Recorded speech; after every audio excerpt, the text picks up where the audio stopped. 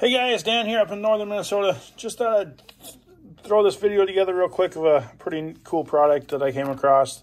Um, this is my Glock 43. I actually have two of them. One's in getting hydro dipped right now. Um, it got a custom barrel and maybe I'll do a video on that one soon. It's got a custom barrel and slide and and uh, trigger and a whole bunch of other stuff in it. So I was trying to find a way to make it hold more rounds. So the Glock 43 only holds six rounds. Um, Glock does sell it with an extension mag, which is just this finger extension, um, but it doesn't hold any more rounds. Uh, why? Why Glock? This this uh, this gun is so amazing, and I love carrying this gun. It's so thin. I love the Glock 43. I'm not a big Glock fan, but I really really like the, the 43. Um, but why only six rounds, Glock? Why? That's my complaint.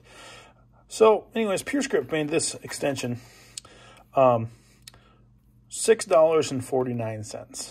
Uh, Glock, take that as a lesson. $6.49, you could have made your gun a lot better. Um, this is the mag with the with the Pearce extension already installed. This is Glock's Glock branded uh, finger extension that they they package with their guns.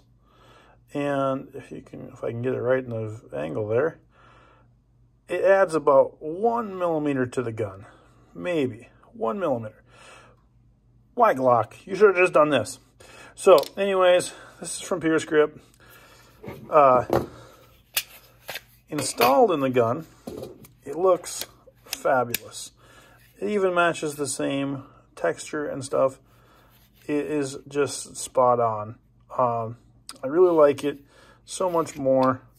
Again, it adds maybe maybe a millimeter or two on the gun, but so much sharper looking, plus one more round.